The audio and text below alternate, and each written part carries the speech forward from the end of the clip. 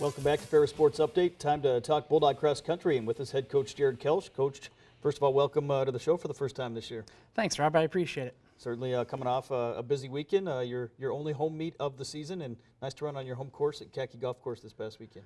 Yeah, yeah, it's always a pleasure to be able to get an early meet in on our home course. Um, you know, having the support of the community and um, other athletics teams there. So um, our kids like it. You know, first one out, just kind of shaking the rust off, um, getting a race in, and kind of seeing where we're at fitness wise, so that we're able to uh, progress throughout the season. The Ray Helsing uh, Bulldog Invitational. Talk about what that means. 43rd uh, annual event, certainly named after a, a, guy that had a big impact on Ferris State track and cross country. Yeah, um, you know Ray Helsing, longtime coach. Um, you know, passed away a few years ago. Um, so certainly even a bigger bigger honor now that it's named after him. But um, you know, started the cross country program here. So um, you know, certainly he had he had a huge impact on um, you know our, our running programs here at Ferris State. So um, you know, we take a lot of pride in being able to host a, a meet named after him, and uh, like you said, the, the 43rd one. So um, excited to you know always be able to run that in early September. So we go to some of the highlights. Uh, your, your guys got off to a great start. Uh, men with four uh, finishes uh, among the top 10 overall.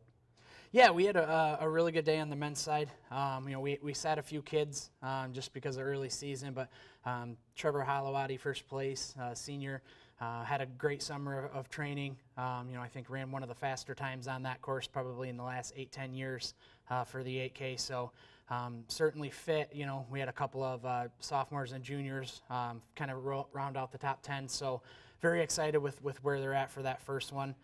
Again, just just kind of getting things moving and getting an idea of where we're at. And so um, we're excited to, to move into this this weekend's uh, race. Talk about the course conditions, uh, what it was like running out there at Katke Golf Course.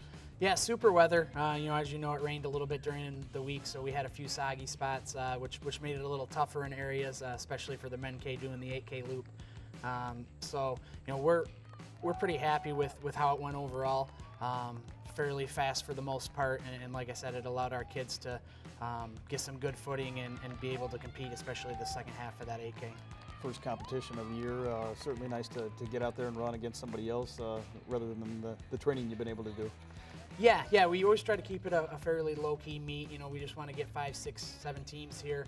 Um, again, they're, they're kind of looking to do the same thing, just get one in for the season um, so we can kind of gauge where everybody's at and then um, that kind of helps us progress the next, you know, six, eight weeks as far as training wise and uh, what we're looking to accomplish at each individual race as we get uh, further into the season and, you know, go against a little bit higher uh, competition. So, um, yeah, very, very exciting to, to start off the season. And like I said, uh, our, our kids came in a little bit fitter than I think I had expected. So very, very happy with, with where we're at. As we shift over to the women's side, uh, they had a big day as well. Uh, first place and eight among the top 10. Nice to see all, all those women uh, up there so high. Yeah, uh, on our women's side, we have a huge freshman class. Uh, we had eight freshmen come in and two transfers. So um, it was good for them to get out. Typically, we'll do a 6K.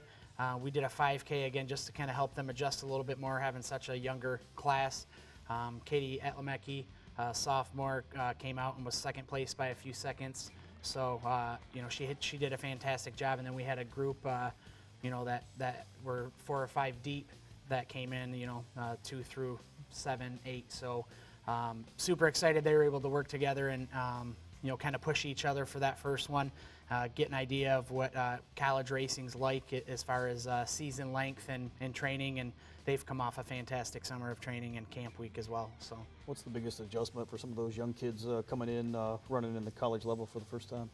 Uh, probably the biggest adjustment is uh, racing less and, and, training more. In, in high school, you, you, typically race quite a bit more. So, um, you know, we, will only go six or seven times throughout the season. So we put a little bit more stock and weight behind our training, um, which means you know we hold a little bit higher volumes for longer periods of time because we're not racing quite as much. So I would say that's probably the biggest adjustment for our younger kids and um, you know just getting their bodies used to that type of training and handling the mileage and um, you know really just focusing on the last couple of meets of the season um, as, as our big competitive meets. As we uh, saw some saw in some of the highlights, some some great weather conditions that they were able to run in on Saturday morning. Yeah, you can't ask for better weather than we had on on Saturday. Uh, like I said, for the most part, the course dried out. Uh, you know, 55 degrees and sunny uh, during race time. So that, that really worked in our favor. Um, you know, like I said, good competitive fields and um, our, our kids took advantage of that and ran very well. So. As you move on, uh, next meet uh, at Michigan State uh, coming up on Friday. Talk about uh, that meet. I know you've uh, had a chance to go to that meet here a number of years. Yeah, Michigan State's always a good one. Um, you know, we see a lot of teams from different divisions, from you know D1, D2, D3, NAIA, unattached. So, um, very, very, very competitive. Um, you know, our, our kids always tend to run well there. Um, you know, when you have that many kids in one race, uh, it, it tends to kind of keep you moving along. There's no gaps where you have to work from one group to the next. So uh, you're able to kind of continually push yourself through the whole length of the race. So, um, you know, they, they have a very good course set up as well. So, you know, um, we're, we're excited to run there, and it'll kind of be our first uh, real big test against competition from all divisions this year. Talk about the, the types of training you do and, and where you do it uh, here in, in terms of cross country. I know I've seen uh, some social media posts out there with the dog park, uh, your kids running down there. Uh, just talk about where, uh, where, you, where you training for the most part.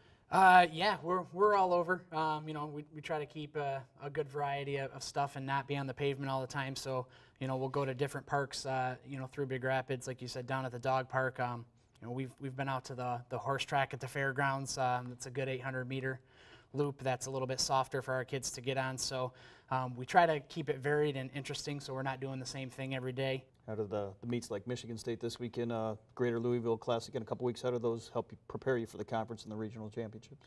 Uh, those are going to be really big. Uh, they changed the qualifying standards this year. Um, and, and so there's some going to be some at-large bids. So um, we'll travel to those meets with the hopes of beating some other Division two teams that are not in our region, um, so that we can get those at-large bid points. Um, you know, so if, if we're a little off on regional day, um, you know, that may play in our favor that we beat a team earlier in the season. Um, and you know we may still have that opportunity to get chosen for for the national championships. So um, because of, of that different type of qualification system, uh, some of these meets coming up, you know Michigan State, like you said, Lewis, um, Louisville, um, those are going to be big ones for us to kind of be on our A game and um, really looking to beat some other Division two teams that are outside our conference and region. Well, Coach, best of luck to the Bulldogs uh, coming up on Friday at Michigan State. Thanks, Rob. I appreciate it. That's going to do it for this week's episode of Ferris Sports Update. A reminder, you can follow all the action and get all the results online at ferrisstatebulldogs.com. Have a great week.